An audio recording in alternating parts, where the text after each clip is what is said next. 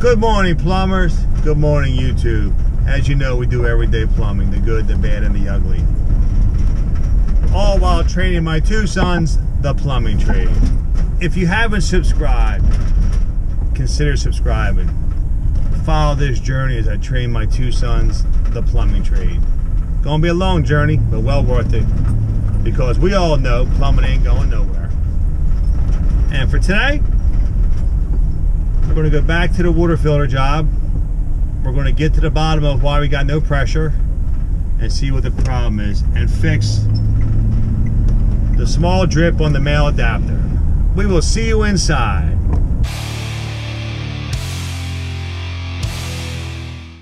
There's my little seeper of a leak. I'm going to shut the water off, cut a slip coupling in there, press it back up turn the water back on. Kind of forgot about it. It's, it's a seeper. Boop. We turn that filter off coming back. Drained it out there.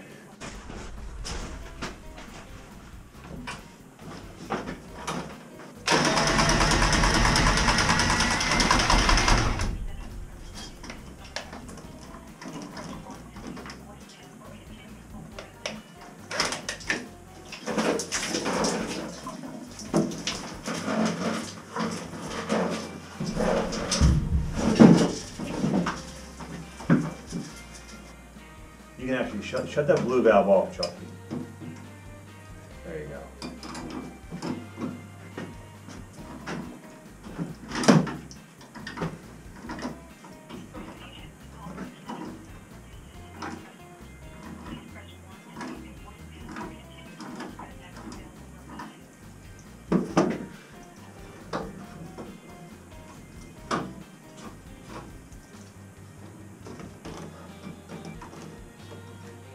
Pliers down, you don't have to hold back. There you go.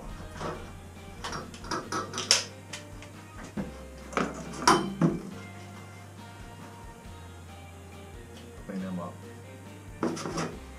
You got a slip coupling, right? I'm gonna go extra Teflon this time.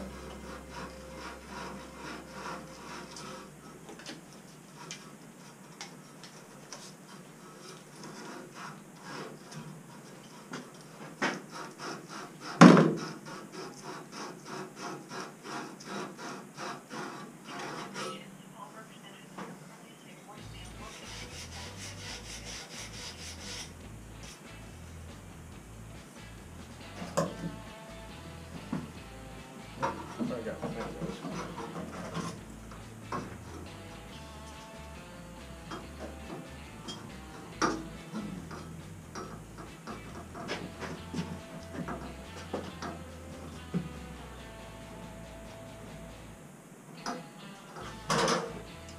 Yeah,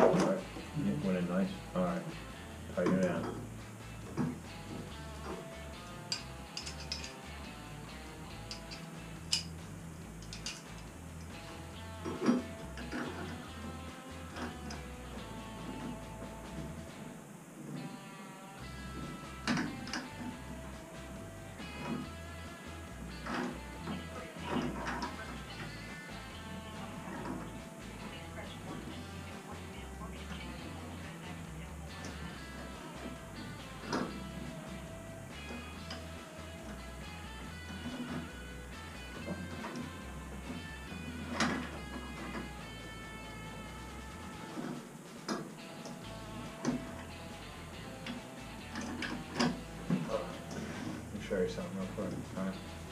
Use a slip coupling. All right. So you should mark both both sides of the coupling. So it's right in the middle. Okay. So you have a gauge of where you're at. And you go back and forth. All right. So you should see both these lines just on the other side.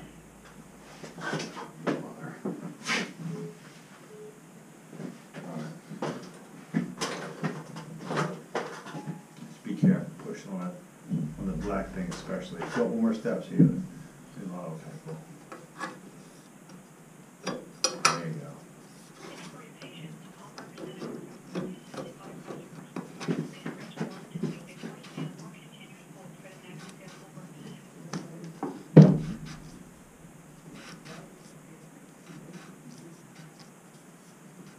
There it is.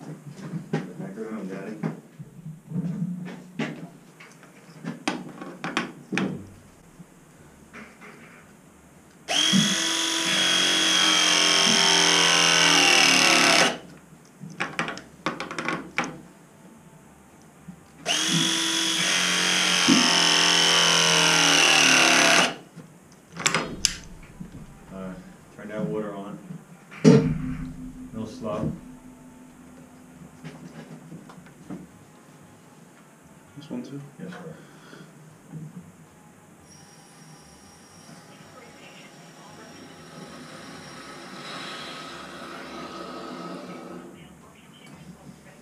Start bleeding out. Ah, much better. See all the air's out? Let's just make sure, let it run for a second. Shut that blue valve off now, and let's see if the gauge goes up. The leak is fixed. He's purging a little bit of water outside. All right, you open it up full blast, shut it off, and it goes right to 60. Now, I've been purging all the lines. It's a new system. I'm gonna show you the valves out front. There's no equipment in yet. But today, both gauges are reading 60 PSI. I heard from some of the viewers, they think I might be okay. Now I'm seeing the gauges both reading 60 on the carbonated filters. But we're still gonna make the phone call to tech support. I got CB2 bleeding the middle soda machine line. Let's see what happens here on a gauge.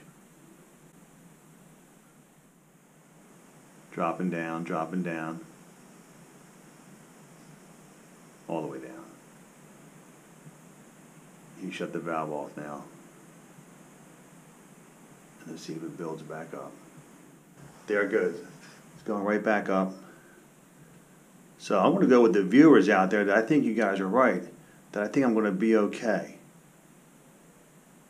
I'm glad I got this shot. Hope he's doing it again. And there it goes, building pressure again. So guess what, boys and girls? I'm thinking this is a good setup. Here's our system.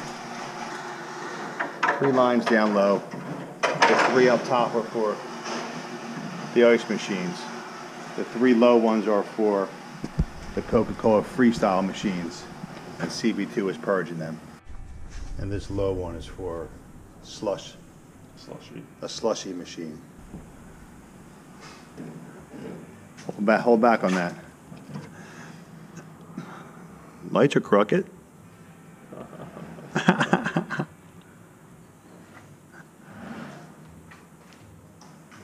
CB2, it worked.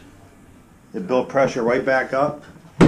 Now it's back on 60 for the people. Who's your daddy? Come on.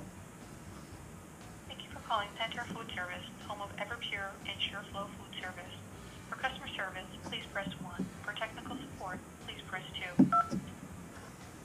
Thank you for your patience. All technical support agents are currently assisting other customers. Please leave a detailed voicemail and we will return your call promptly. Thank you for your business. I don't think nobody's gonna call me back. And if they do, it's not gonna be for a while. CB2 is hooking up the third line. Right now, I am running the water in the floor drain out the future location for the soda machines. I'm purging it as we speak. And she's holding 40 PSI on the hose bib, which I have cranked down pretty good. And I got the water, I've been bleeding it this whole time, and it's holding at like 40 PSI. Shut it off one time, let it build pressure, give me one good blast, and then just shut it off. And we're gonna confirm that everything's okay here. I say it's good. Let me know what you think in the comments below. Coca-Cola is coming next week.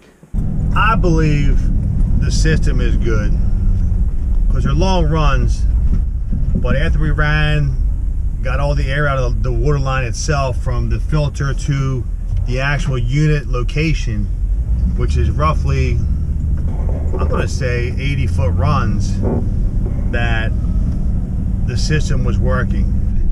Fixed the leak.